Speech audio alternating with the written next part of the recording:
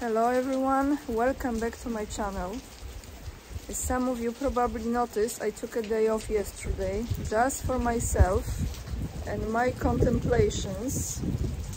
That was an important moment for me. Weather update.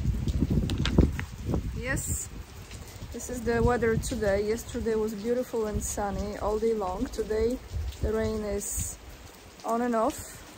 This is very much on might continue, although I was planning to take a long walk and record this for you while I'm walking. The weather is like this, but at least you have some view behind me, so I can read you this. Uh, it's an article that I came across from the Russian portal uh, 3mv.ru. The link to this article will be below the video in the description box, so you can read it. However, it's in Russian, so you have to translate it. I translated via Google Translate because clearly I don't know the language that well. But let me read you this article uh, and then I give you in a nutshell my commentary to it. The title is After clashes with Russia, Poland will turn into a lifeless desert. And it goes on like this. The Polish army is moving ammunition depots to the border with Russia and Belarus, according to NDP. The authorities are presenting this as a defense against an attack from the east. However, in the event of an armed conflict, Poland, where military facilities are literally at every step, will turn into a lifeless desert, the newspaper writes. Marek Galas. I'm not sure if this sounds like Polish last name. Marek Galas, Gawaś, could be. He writes, Last week it became known that Polish army is moving ammunition depots to the border with Russia and Belarus. The movement of tank and uh, uh, artillery shells, mines and ammunition is carried out both day and night.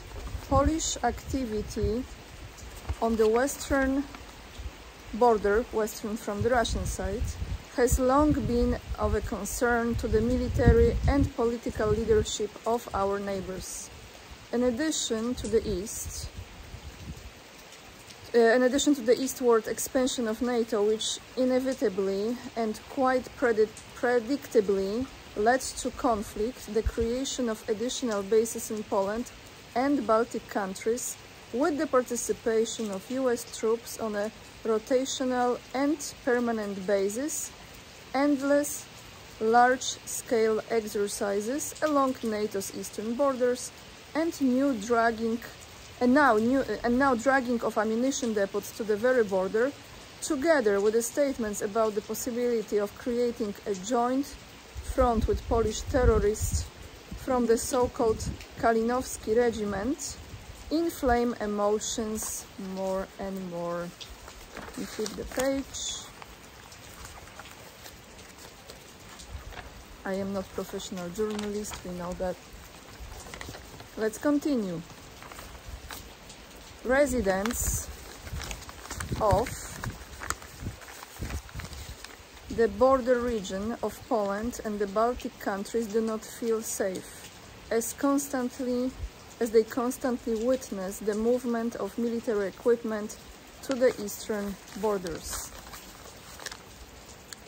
The recent incident of Latvian city of Salaspils, I pronounce it the right way, was an indicator of the attitude of the population towards the militarization of the country.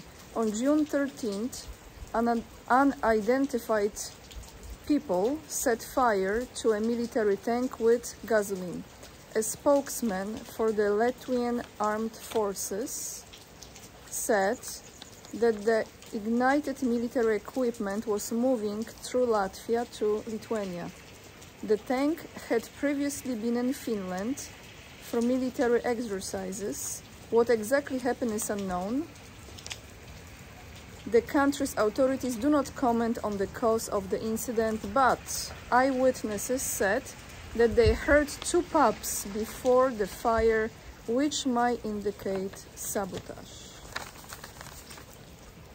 In Poland, When NATO vehicles move, roads are often blocked, which irritates the citizens. The transformation of Rzeszów, city in Poland, into a transshipment base for the transfers of NATO weapons to Ukraine, the creation on the territory of Poland of military plant for the repair of tanks and other armed vehicles, a base in Radzików, another city, the deployment of US military bases throughout the country, the use of Gdynia, uh, harbor town in Poland, the use of Gdynia as a transshipment base for the Navy. This is by no means a complete plan for the militarization of Poland. By the last page.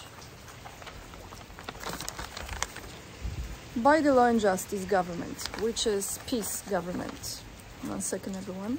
We create some sense of stability here.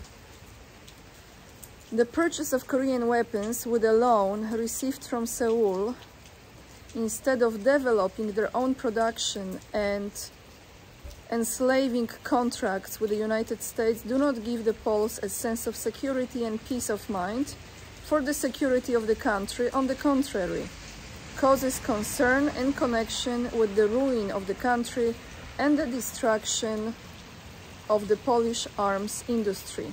Law and Justice presents the militarization of Poland as a, forced, as a forced move to defend against an attack from the east. However, such demonst uh, demonstrative aggressiveness actions had the opposite effect. In order to protect itself and the western borders of the Union state, Belarus turned to Russia with requests to provide it with nuclear tactical weapons which were withdrawn from its territory more than 30 years ago under the Treaty on the Non proliferation of such weapons. The situation has changed the terms of treaties, starting with the NATO Treaty on the non-proliferation sorry guys, of nuclear weapons in the East have not been fulfilled, so now each country ensures its own security by its own measures. The territories of Poland in the event of an armed conflict would turn into a lifeless desert, desert, sorry, not desert, a lifeless desert, since military facilities in Poland are literally an, on every step. My commentary, desert. My commentary, well, let's start with Rzeszów, that was mentioned here in this article. Rzeszów is a town in Poland, southeast uh, big big town. Actually, my mom came from the regions of that big town, not from that city. Rzeszów, Rzeszów's airport had to be closed.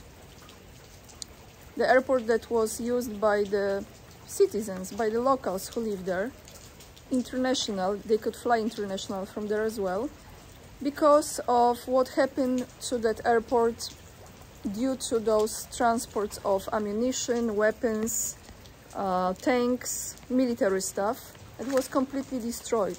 So now they have to rebuild, renew this airport because it was not prepared for such a heavy machines, objects coming there. So this is just one, one thing from me. I tell you, actually I've written this down not to jinx it with my English. My commentary is this. They are destroying the economy for the sake of the military they are tightening the screw on the nation of Poland with the taxes, taking the country to such economic extreme that we might have a replay of a pre-war Germany, pre-World War II Germany. This is just my commentary on this because they are justifying every spending, taking the loans for the military equipment, destroying country economically, raising the taxes, tightening the screw more and more. Small businesses are closing every single day. Even though people have customers, they are not able, even they have need, they have uh, demand and they have customers, they are not able to put up with all those payments and those taxes are being going higher and higher and actually I have to give you maybe in the next video about this new new tax that came for the next year for the small business owner again. Meanwhile, they are taking loans for the military equipment. So they are prioritizing this. So this is the approach when, when a country wants to go to war, in my opinion, that's how the country acts. Look, Germany, before the Second World War, what was there economically, right? Financially. And then the only solution you have we gotta go to war. But who who designed this? Like who is the author of this scenario for this movie? This is real life but i'm saying right? Just my thoughts. So guys this is the video for today. Uh, and i will end it here. The article you find below this uh, in the description box. That's all i have for you. And now i take time for myself.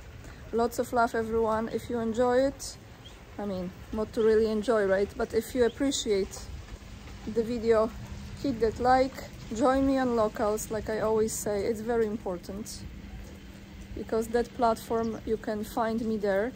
And for the number of you that are watching, it would be nice if more of you can join me there. Uh, and also follow me on Instagram.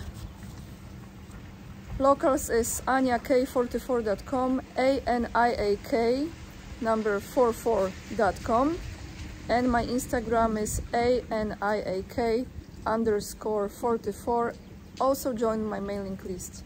And I see you in the next video guys. Who knows from where. Bye everyone